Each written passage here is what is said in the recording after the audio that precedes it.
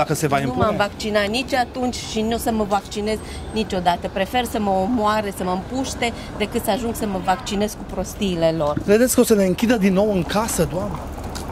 Să închidă pe cine vrea, eu nu stau în casă, nu mai stau. Mă tâmpit destul de cap. Ați stat mult în casă? Păi am stat atunci de frica amenzilor, nu de altceva. Nu mi-e frică decât de Dumnezeu, de altcineva. Nu știu ce vor, chiar nu mai înțelegem ce vor cu noi. Să vaccineze maimuțele sau ei care sunt maimuțe, pe ei să-i vaccineze. Că m-aș fi vaccinat și eu cu ce se vaccinat ei atunci. Cred că cu vitamina C, ca să ne demonstreze nouă tâmpeniile. Organizația Mondială a Sănătății a emis o alertă în 14 august și a declarat variola maimuței o urgență de sănătate mondială. Primul caz de infectare cu noua variantă a maladiei a fost confirmat în Europa la scurt timp după semnalul de alarmă tras de OMS.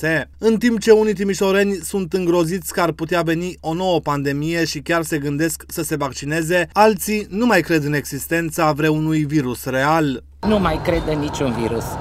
Am crezut în prostia altă de virus și m-am înșelat. Acum, ciuciu. V-ați vaccinat atunci?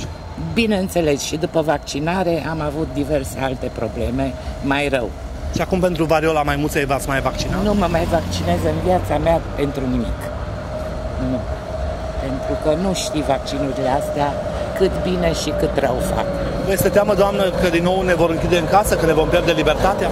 Nu cred că vor mai îndrăzni, că nu, nu vor mai accepta oamenii. Dar s-ar putea să încerce, nu știu.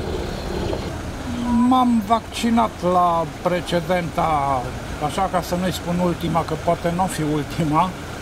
Uh, și Da, posibil, posibil să mă vaccinez. Unele dintre simptomele variolei maimuței sunt erupțiile cutanate, leziunile pe orice parte a corpului, febră, durere în gât, ganglioni limfatici umflați și leziuni la nivelul gurii și ochilor.